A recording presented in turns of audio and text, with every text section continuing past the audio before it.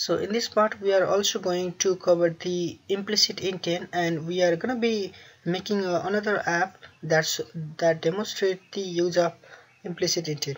Okay so start a new android studio project and let me name this as second in in implicit implicit intent demo. So hit next and then again hit so yep hit hit next.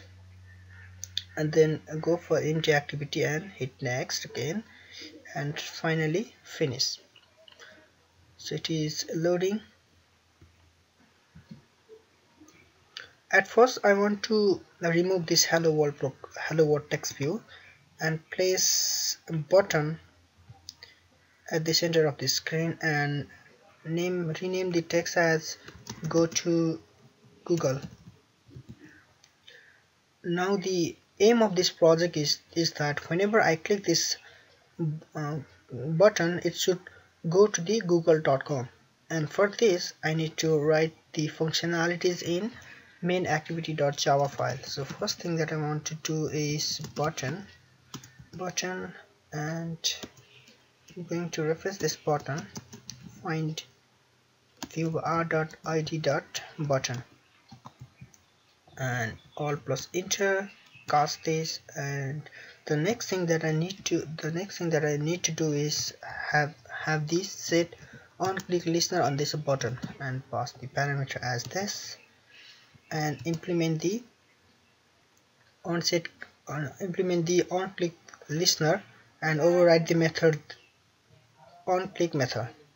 Show and I'm going to have the switch case here get id and case as r.id dot button. And break.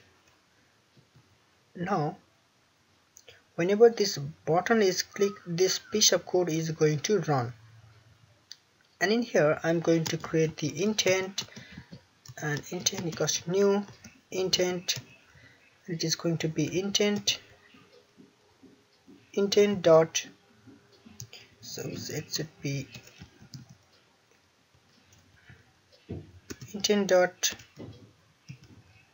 action view dot hmm, URI URI dot parse and here is it should be our string name http as www.google.com and then I need to start this activity start activity intent. And we are basically done. Let me hit run.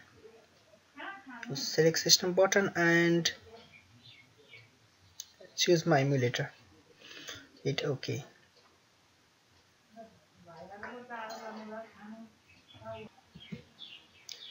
okay here is our emulator and the Android Studio is installing the APK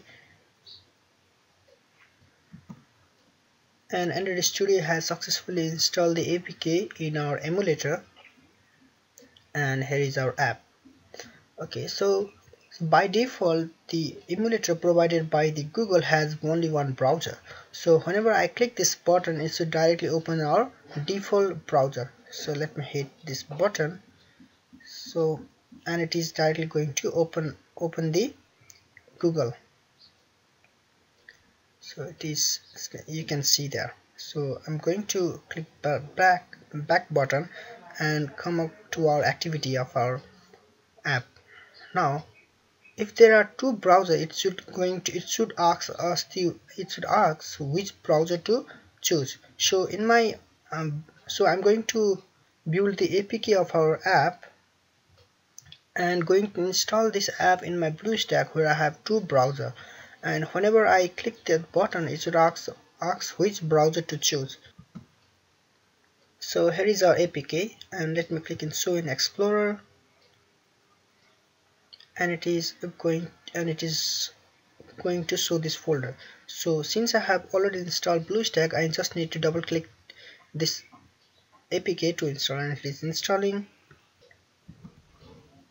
okay here is our app in BlueStack so whenever I click this button it should ask the uh, which browser to choose. And I have two browsers here. Okay let me click this button. And yes it is going to ask for me which browser to use for completing this action.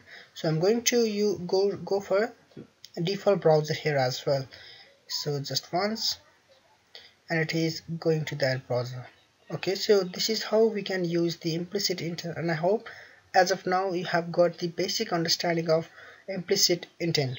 So another last so just a reminder that into implicit intent is used whenever whenever we we don't know when we don't know which activity to call or which action to call action to call and it is which action to call and all the, and the rest of the tasks is handled by android operating system. Okay so thank you for watching and i will see you in the next part